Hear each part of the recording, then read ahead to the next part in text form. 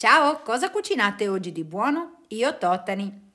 Per prima cosa ho pulito i totani. Voi per comodità potete acquistarli anche già puliti.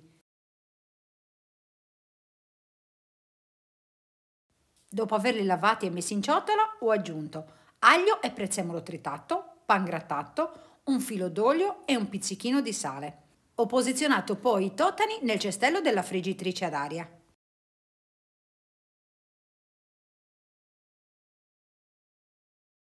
Ho aggiunto un altro pizzichino di sale, un altro giro d'olio e ho cotto 10 minuti a 200 gradi. E voilà! Totani impanati pronti. Buonissimi. Dovete assolutamente provarli. Vediamo l'assaggio. Mmm, buonissimi. Ciao e alla prossima ricetta!